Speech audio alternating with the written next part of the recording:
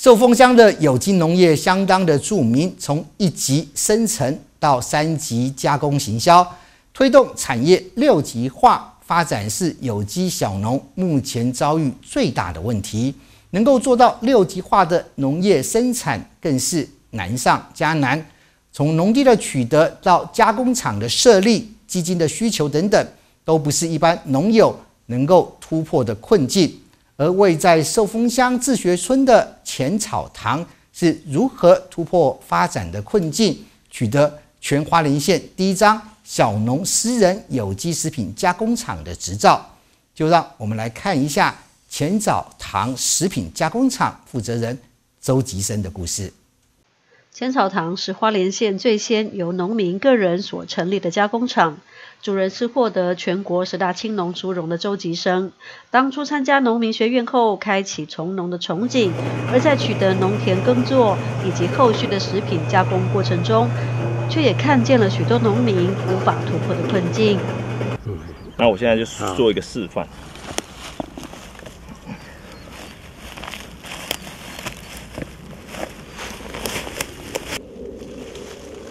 因为我们这个是煮两年的，所以它它。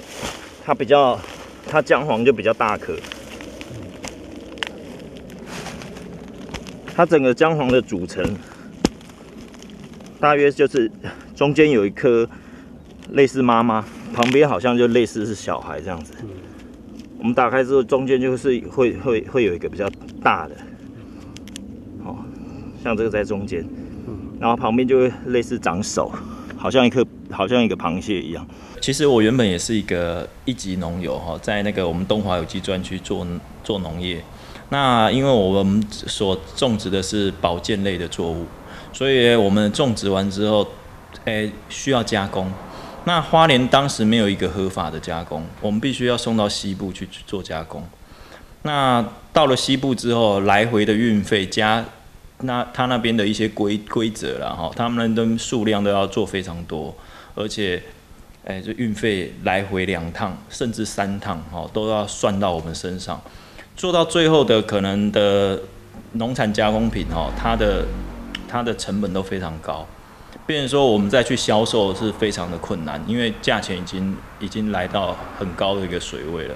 那所以从那时候开始，我就想说，我们干脆自己做加工。我们产销班事实上约莫有一百公顷，然后。而且几乎每个每个农每个班员哈，他们都有都有种这个保健作物，所以当时就就开始申请，哎，农产加工室。那农产加工室一直一直从申请到盖，然后再到认证，总共就是花了当时时间拉比较长了，我们花了大概两年十个月才把它完成。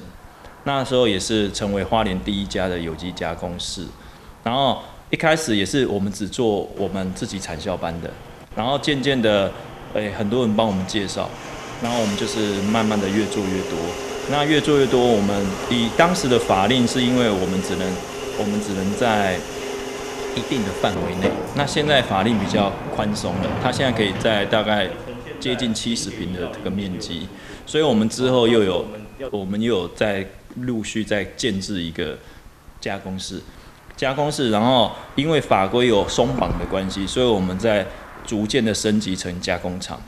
那现在我们就是就是有包含有机、HACCP，然后 ISO 两万二，那都有认证。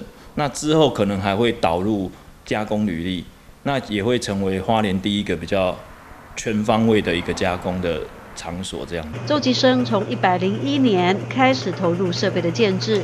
直到一百零四年，食品加工一厂才完成，并且也取得食品加工厂认证。他回想当初在花莲做食品加工时，碍于东部完全没有一间有机食品加工厂，因此他必须先将产品寄往西部的加工厂加工，再寄回来。这一来一往，增加了高成本的运费，让后端的销售价格失去了竞争力。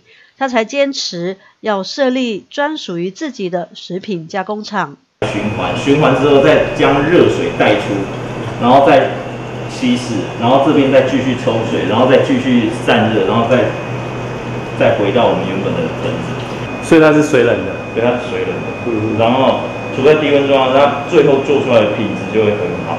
那一般高温都会破坏一些一些元素。以现在来讲的话，在申请有机加工室哈，它法令已经已经松绑比较多了哈，而且它面积也比较比较宽了哈。那以前像我们以前只能申请十五平，那现在已经可以开放到七十平了哈，两百平方公尺。那在申请的时候，它其实是一些我们首先是要到我们的乡公所哈，农业科好去申请容许。容许完之后，他那边如果核准之后，我们再送到县府。那送到县府，那就到建管科。那如果是你对这个这个程序不是很熟悉的话，一些农友哈，你们可以直接去找建筑师了。这样可能可虽然是花了一笔专业费用，可是在你在你的申请上哦，可能会比较顺利。那如果你是全部都要自己来，当然也可以。不过我认为那个时间可能会越会拖非常长，而且你对于法规的不了解，你可能在设定上会有问题。其实我们一开始在设申请加工的时候的时候，也是因为很多状况不是很清楚，所以拖了稍微比较久。那我认为还是术业有专攻，那你就交给专业的去弄。对，那申请下来如果正常的话，我认为应该一年左右就会整个完成这样。花莲早期的食品加工产业没办法做到从分装、设计、印刷到包装一条龙的加工模式，充其量只能算是半成品加工。因此，当时的浅草堂只能接东华有机产销班生产的农产品。后来经过农委会等相关单位的介绍，逐渐打开了知名度，生产加工的项目也才开始变多。花莲这边就是，哎，小农特别多，然后少量多样。成为这边的一个主流跟趋势，那所以你在一开始我们设定设备的时候，都要先考量进去。哎，这个它的弹性高不高？好，而且它的哎它的妥善率好不好？好，这都是要考虑的。像我们以前也是吃很多闷亏哈，也是花了很多冤枉钱哈。但不是设备买太小啊，就是实在是买不够耐用，那就导致你后面其实都是白做的。那当然，在诶做这个小农加工的时候，他们需要的商品其实很多了。那我们就是只能在闲暇之余，就是慢慢去测试。诶，这个的诶，因为我们花莲大约哈，我这边大约有有大概七八十种可以制作，可是真的在常常在 run 的哈，大概可能是十到二十种。那可是我们会针对部落区域哦的特别的产物下去研究。然后怎么制作，然后帮他们做一个后端的加工。我们是从鲜品，好，鲜品你来，然后我们就帮你制作完成，然后再到设计印刷，再到包装。其实你简单的讲就是，农产品来最后变商品，它不会有所谓的半成品，就直接到商品了。所以对小农来讲非常的方便，它省去了加工、设计、包装、印刷。它一整串，我们就是全包了这样子。浅草堂以食品加工法规为最高原则来加工，相当注重食品卫生的浅草堂，在产品一进到加工厂后，就是连贯式的做完，中间不会有任何停滞的情况发生，符合了食品加工的安全法规。浅草堂在获得有机认证 ISO 两万两千 HACCP 食品安全管理认证后，拉高了加工厂竞争力。而当加工二厂的投入之后，产能加大，周吉生接国际单的梦想也跟着实现。呃，其实现在政府，呃，其实有大力在推啦。那现在政府部门，现在尤其现在农委会，自从上一次的那个，诶政策开放之后，哈，他已经我知道花莲厂还有加加场次，哈。让小农去学这个食品加工的，诶，这个四十小时的基本训练，好一些卫生条件。其实很多农友会以为这个加工很简单，事实上，其实其实绝对不是哈，而且它门槛其实还蛮高的哈，它跟农业是完全是两回事，哦，就是。绝对不是跟农业是一样的东西哈，食品就是归食品。如果你加工是可能我们就是符合 GHP 的一些基本规定，可是如果你要到工厂的话哈，哎，那可能规定又更多了，因为你可能减受检的单位哈，就不是可能一个了，就可能是好几个，有环保啊、卫生、消防哦等等。所以他那时候你最好是也是透过像 HACCP 这种系统，它有一个它有一个完整的，哎，就哎制作流程，还有说检验规范，然后一些你就照依照它上面的指示下去做，可能就出错率会比较低了。加工品项的增加，人力或者设备也都必须同步升级，才能够提高生产线。因此，他争取农委会相关计划的协助，顺利取得部分资金，增设加工二厂。直到现在，已经投入了五千多万的建厂成本，才达到初期的成果。做这个的门槛，我如果你要做到非常专业哈，的确是成本花相当高。可是呢，它相对的，哎，它做出来当最后的商品也是。诶，是非常有竞争力的。好，那可是我们我还是在这边要大概呼吁一下哈，农友如果假设真的要做这个哈，一定要三思而后行，要先评估完有没有必要要做到这么高等级，还是说你直接给别人加工，给给别人代工了哈？那因为你花下去的，因为我们这个这种设备跟汽车不太一样，我们这种同样花两百万的设备。汽车哈，它可能是每年逐十趴在在掉哈，可是这种设备买下去就基本上就先掉五成，大概五年之后大概就剩三成，哦甚至两成，所以我们在投入的时候一定要特别考虑清楚。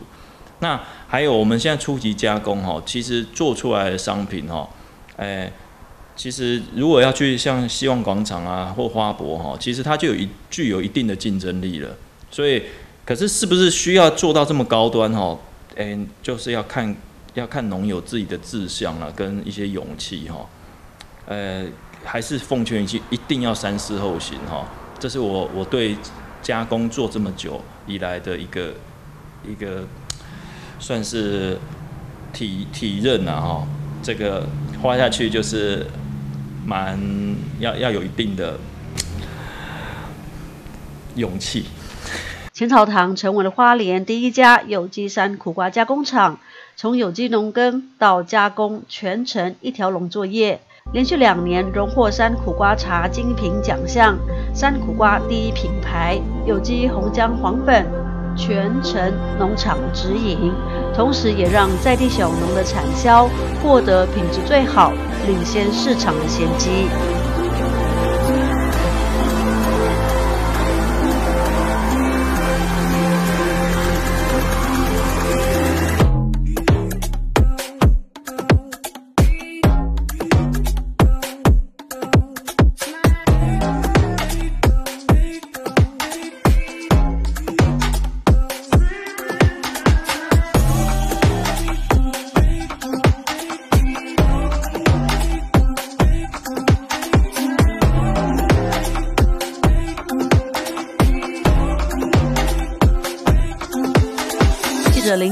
花莲采访报道。